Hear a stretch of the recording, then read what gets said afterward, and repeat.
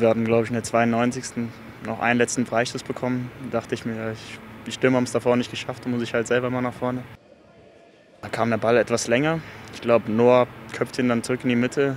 Ich laufe, also ich stehe eigentlich schon zu weit vorne, Ball kommt mir irgendwie in den Rücken. Und ich versuche halt irgendwie mit der Ferse den Ball zu kommen.